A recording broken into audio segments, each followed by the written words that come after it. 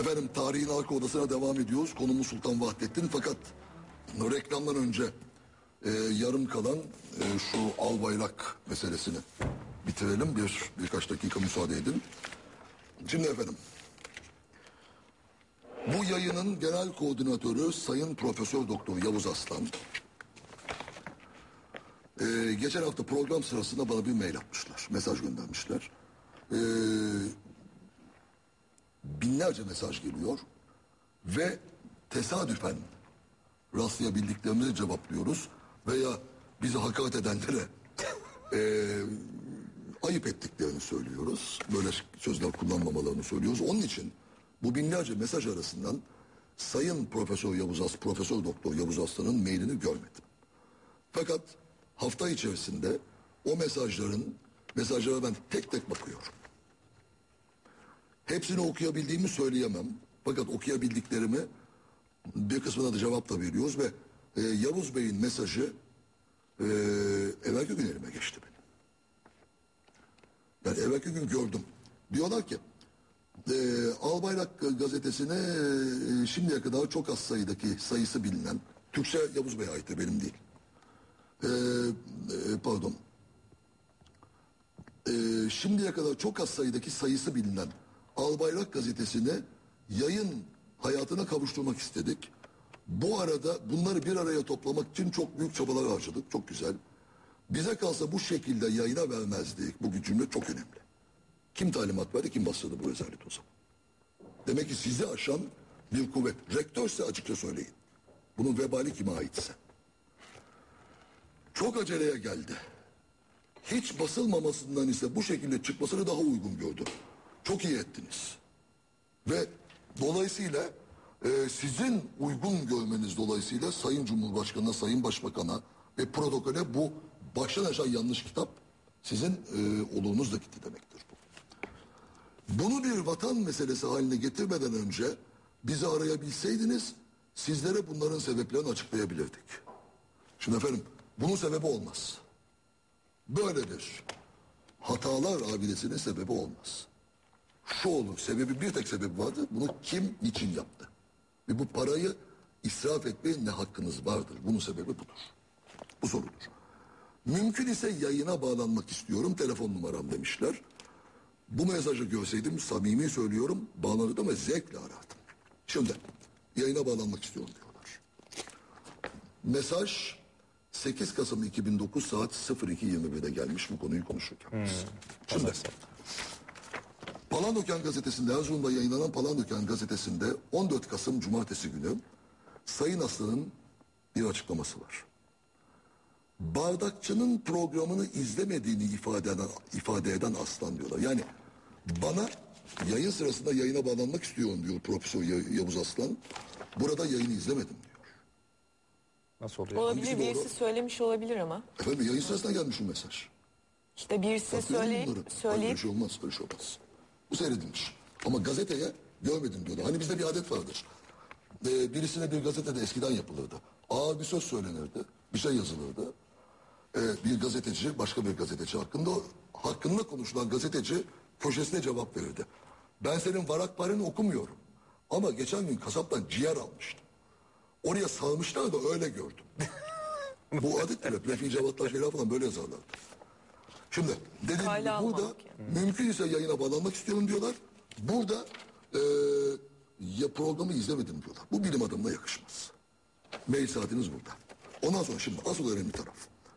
Yaptığımız tarih adına inanılmaz bir hizmetti. Doğru. Tarih adına bu derece inanılmaz yanlıştı. Tek eseri ortaya koydunuz. Yanlışlarla dolu. Şimdi burası mühim. Sanki bir şey bulmuş gibi çıkıp televizyonda şov yapıyor.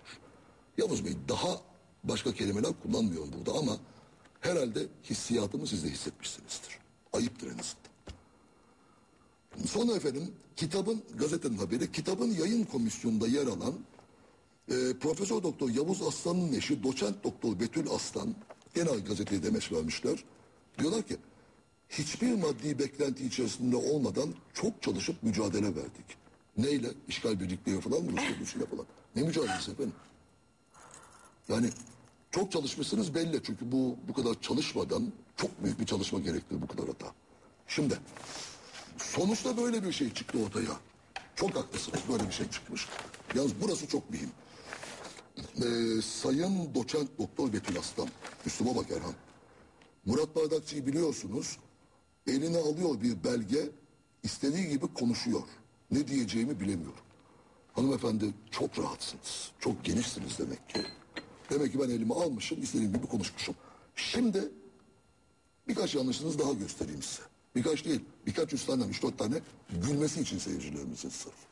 Şimdi efendim, yani program sırasında mesaj atan hoca bu genel koordinatörü seyretmedim diye gazeteyi demeç veriyor. Heh, mümkünse yayına bağlanmak istiyorum numarayı vermişler. Tekrar söyleyeyim görmedim. Dünkü e, köşemde Habertürk gazetesinde bu meseleyi yazdım programı arayacağız dedim. Bugün önce bir mesaj geldi. Ee, bu eser ve benim üzerimden üniversitemizin akademisi, üniversitemizin ve akademisyenlerin e, Yavuz Bey göndermişler yine eleştiri üslubunu aşan ifadelerinizle daha fazla malzeme edilmesine sebep olmamak için Türkçe hocaya ait bana ait değil. Yayınınıza bağlanmayacağım. E bunu kim gönderdi bağlanacağım diye? Yayın sırasına yollamışsınız. Eserdeki yazım, okuma hataları ve basımının sorumluluğu koordinatör olarak bana aittir. Efendim tamam. Üniversitedeki bazı kişilere laf gelmesini istemiyorsunuz. Hayır, sorumlusu kimse en baştaki sorumlu bunun ödeme emrini imzalayan kişidir.